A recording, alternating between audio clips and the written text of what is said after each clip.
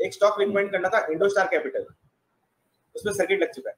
तो वो हमसे छूट गया इंडोस्टार कैपिटल फाइनेंस एक सौ छप्पन पैंसठ पे है सर्किट लग चुका है। सर सर्किट खुल भी गया क्या? नहीं। ये सर अभी खुल गया वापस खुल गया। फिफ्टी एट सत्तर का सर्किट था। अभी कुछ कर सकते हैं कि नहीं? सर ये स्टॉक 150 पे मिले तो ऐड करेंगे। टारगेट 160 70 80 के होंगे छोटे टारगेट बड़े टारगेट 200 और 250 के होंगे।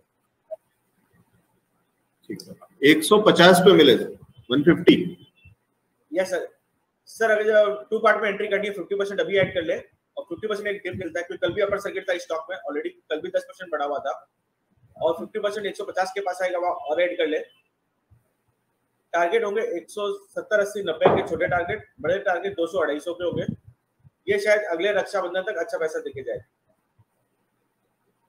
ठीक है। तो रक्षाबंधन टू रक्षाबंधन बढ़िया मुनाफा जो थीम है। ये सर ये स्टॉक आज़ादी थीम पे अच्छा अच्छा चलना चाहिए चलिए ठीक है इसको आज़ादी थीम मान लीजिए।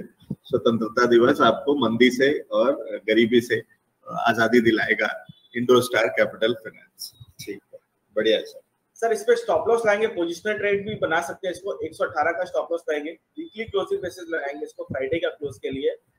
डे टू डे क्लोजिंग नहीं देखनी है इसकी। फ्राइडे क्लोजिंग देखेंगे 118 के लिए। और इसमें फिर बड़े टारगेट मिल सकते हैं अपने